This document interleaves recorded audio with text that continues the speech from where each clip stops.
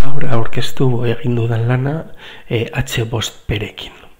Vale, orduan, hemen e, klikatuz gero, erabili ditut bi. Bata izan da flashcards, eta, bueno, pues, e, ariketa da simplea da lan egitea, ardatz e, e, momentu, ba, inertzen momentuekin, pues, pues, ardatz e, honekiko kasu honetan, pues, e, erastun batena, badakigu izango zala, hemen erro errekarratu, ez?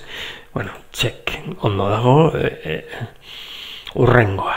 Hau izango zala, bat amabiren, okerez banago, bat amabiren, eta hemen M erre karratu.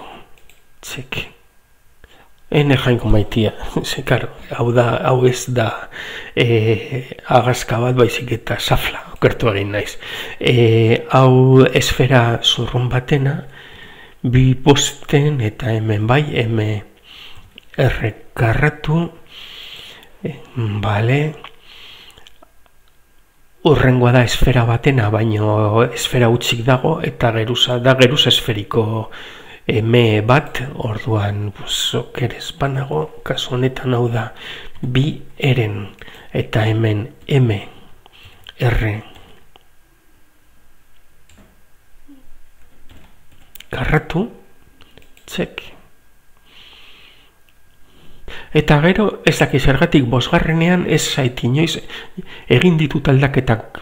Ez dakit zenbat aldiz, eh, baina hemen agertu beharko zen eh, agazka bat ez eta jarri beharko genuke e, pues bere zera hau dela bat amabiren okerez banago M eta luzera karratu vale? baina saio guztietan gertatzen zaidana da ez, bosgarrenean ez dela gertzen eta orain bertan, ez ezke da irugarren grabazioa egiten du da gauza berarekin, eta gozgarrenean ez da inoiz be irudia agertzen ez daki zergatik.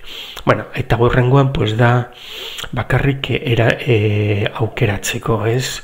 Gauza bera, da inertzi momentua, eta erastun batena, ez? Pues egin beharko genukena izango zen, zuz, e, erantzuna, eta e, pues, claro, egin dugu ondo, eta badago. Eh, hau izan da egindako lana. Lekua egia esateko gustatu zait, baino gertatzen dena da e, ordaindu behar hori gero ja e, pues, e, aukera gehiago izateko eta hori ez zaidala asko gustatu. Baina, bueno, e, da, e, nola zuek esan dozuen izan da azkenengo momentuko aldaketa eta bueno, e, horren kontra ezin da ez ere bueno, espero dut zeuen gustokoa izatea, eta besterik gabe, e, ongi segi,